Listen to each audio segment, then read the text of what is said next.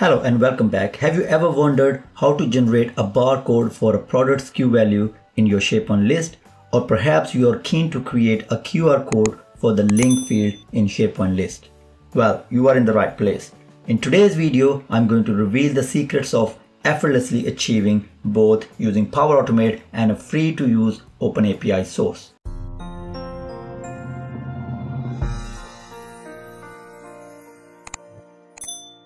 Before diving into how to generate barcodes using Power Automate and this open API source, let's explore an out-of-the-box method. The limitation of this approach is that it does not allow you to input a specific ID or SKU value to create a barcode. Instead, it automatically generates a unique ID and a barcode for you. So to enable this out-of-the-box feature to generate barcode for SharePoint list record, First, you need to click on the setting gear icon and then you need to go to site content. And from the site content page, we need to navigate to site settings page. Make sure you are a site collection administrator, otherwise you won't see these options. So you need to navigate next to site collection features. So the feature we're looking to activate is in place record management. So this is the feature. On the right hand side, I will click on activate button. Now you can see the in-place record management feature is activated. From the left-hand menu, I will go back to our product list. I've created some fields here, the SKU, the barcode image, product link, and the link QR code. The idea is that whenever I add a SKU value here, it generates a barcode. And whenever I create a product link here, it should generate a QR code here. So this we will do with the Power Automate flow, but let's check the out of the box option first. I need to go to the setting icon and navigate to the list settings. I need to click information management policy settings and then I need to select item option from the content type. From the policy setting page, I need to enable the barcode. So I will enable that. This will refresh the page and then I will select OK. Items view and I will click on edit current view you will see there are two more columns available to add barcode and barcode value. So i will select both. Both columns are added into the view. I will go ahead and create a new item. I will just call it kitkat and then i will give it a, a random SKU value here and click on save. Now you can see it has generated a barcode with the value but the barcode is not generated based on this SKU value here so this out of the box option only work when it generates a value itself and also the barcode. What if I need to generate a barcode based on this SKU value? We need to use the Power Automate flow. So let me hide these two columns for now. So barcode and barcode value, I will hide these columns from the view. Now the next option is creating Power Automate to take the SKU value and generate a barcode and then take the product link and generate a QR code. So first we need to look at the open API which we can use to generate these barcode and QR code. So that is called barcodeapi.org. You can see that you can choose different type of barcodes or you can leave it as auto for it to determine which is the best barcode for you. So for example, you can click on Royal Mail, it will create a Royal Mail style barcode for you or you want to create a code 39 type barcode, then you can use the code 39 option. So for us, because we want it to determine barcode itself, we will use the auto option.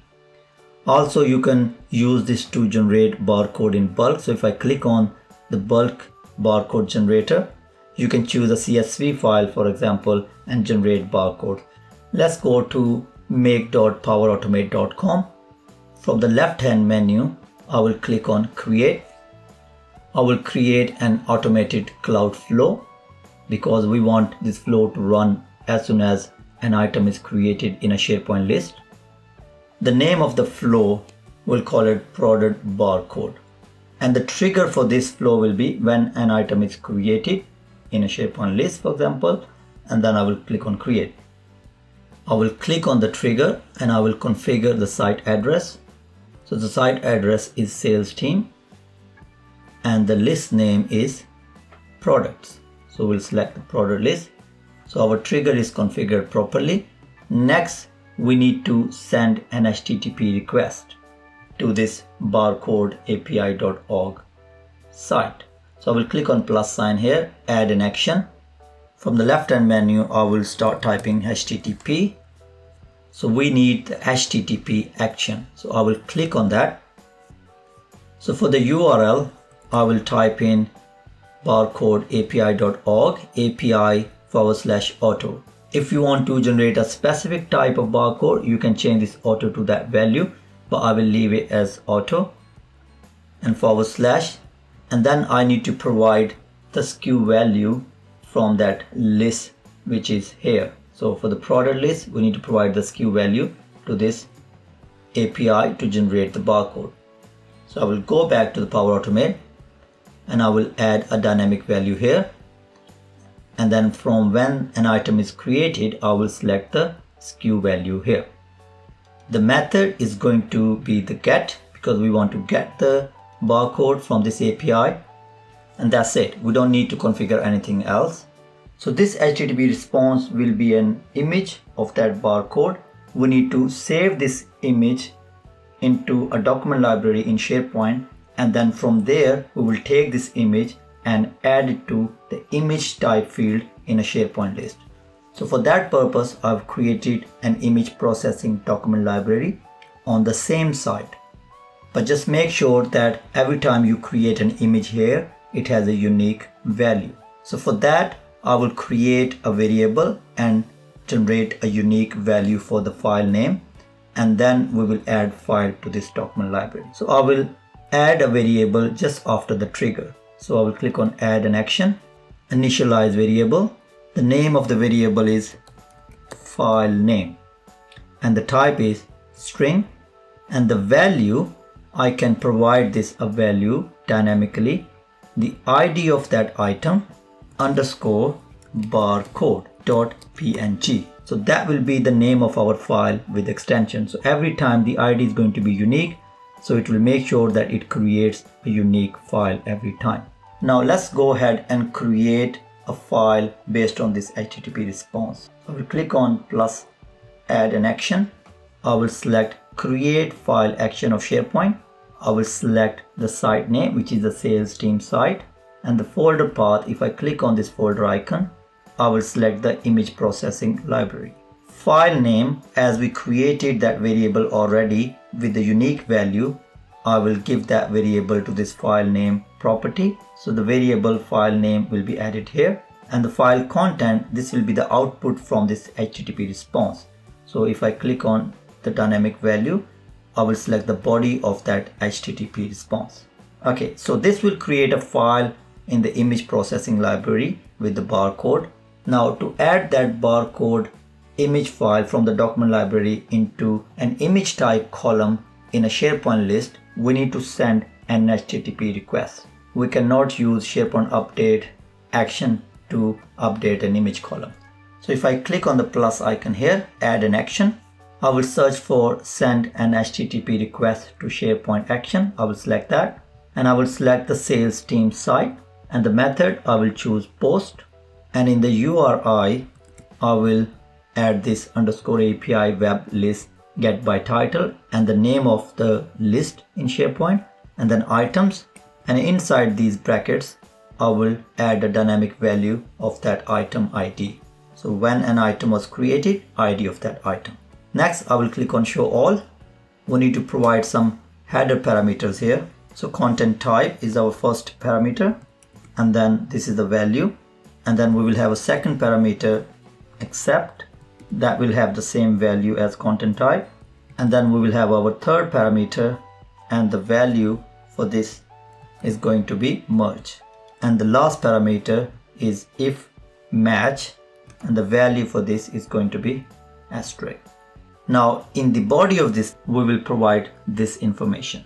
So let's go through this. So first thing we need to provide is product list item this is the name of our SharePoint list where we are trying to update that image column. So if I go back, this is the list name products and the barcode image is actually the field name in a SharePoint list which is of image type So if I go back to the SharePoint list, you can see the barcode image field.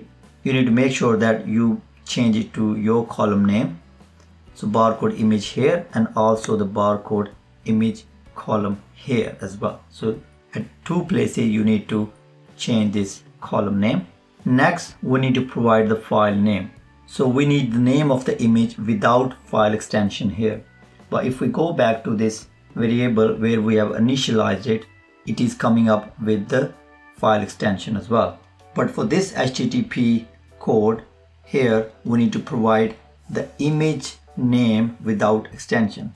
So for that, we can just create another variable. I will do right click here and copy action and then I will go on plus sign and paste an action here and then this file name we can call it file name node extension and then we can just remove .png from here. So now we have a two variable one with the file name with extension and one without extension.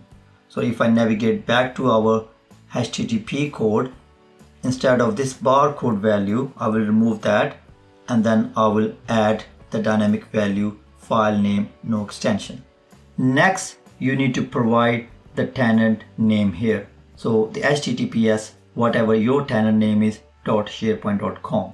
And then here you need to provide the URL of that image. So we have a site which is called sales team and inside that site we have image processing document library and inside that we are expecting the image but not with this name let me go back and then remove this i need to add an image name which we have created in our initialize variable image name with extension. So I will add a dynamic value and we will use this file name.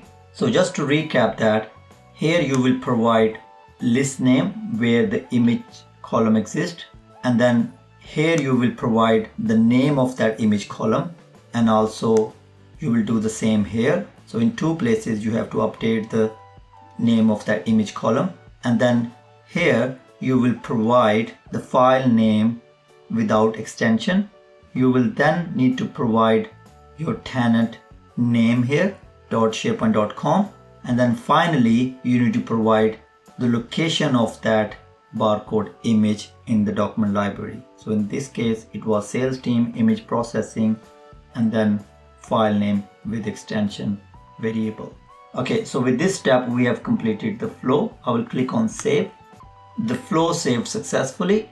If I go back to the product list and I will create a new item, I will click on new item and for example, I type Mars and the SKU value, I will just give a random SKU value and then I will click on save.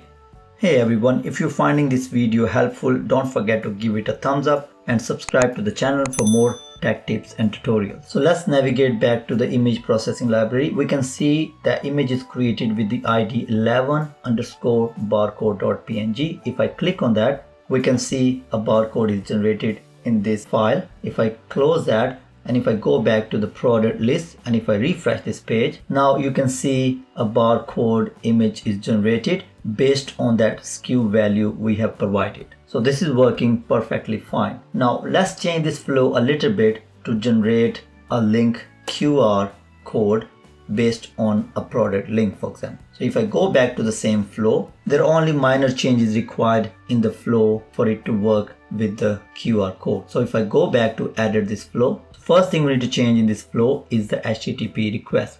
So instead of this SKU value, we will provide the URL. So we will select the dynamic content and then the product link. So that's the value we will provide and we are saying this API to automatically determine what type of code you need to generate. Okay, we won't change anything else in terms of how it creating file, but we need to change the HTTP request to SharePoint. So we are using the same product list but this time instead of updating the barcode image column, if I navigate back and show you column name is link QR. So if I go back to the flow, I will change it to link QR. I also need to make that change here. I will change it to link QR and that's it. So this time when the HTTP request will be sent, it will be auto determined because we are providing a link so it knows that it doesn't have to create a barcode instead you need to create a QR code So I will click on save. Let's create a new item.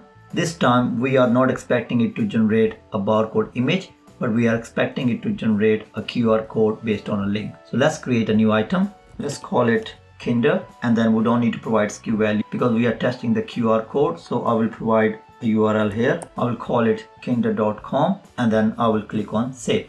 Alright, so if I go to image processing folder, I can see a new image is created. If I click on it, it is actually a QR code for that link.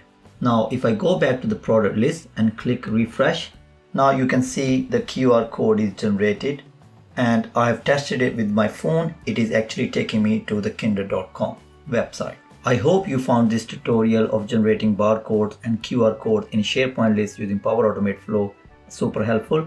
Don't forget to hit the like button and subscribe for more awesome content. Until next time, happy automating.